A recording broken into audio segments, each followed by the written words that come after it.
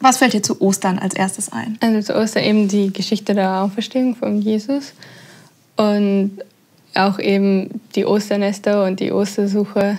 Der Osterhase, der versteckt Eier mhm. mit Schokolade, genau. ja. manchmal sogar Spielzeug.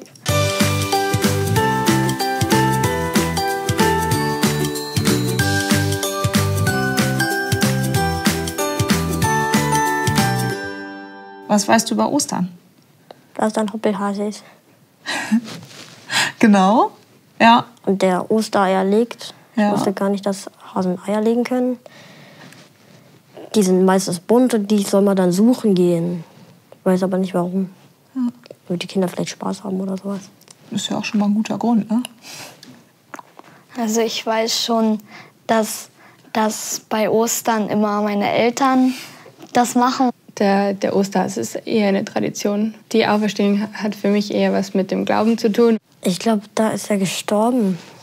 Aber warum man sich darum freut, das weiß ich nicht. Genau, der ist gestorben.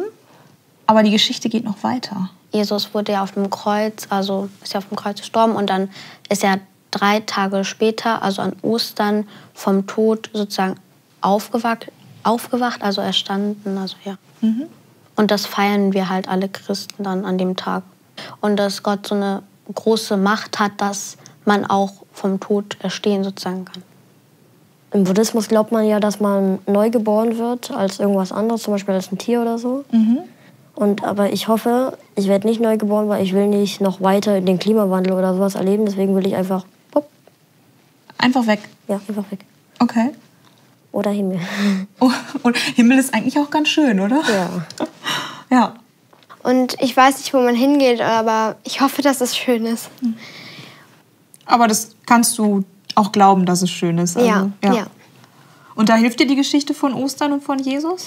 Ja, schon, weil es wird halt deutlich gemacht, dass Gott einen aufnimmt, dass man nicht weg ist, dass man im Leben bleibt und dass man einfach nach dem Tod auch noch ein weiteres Leben hat.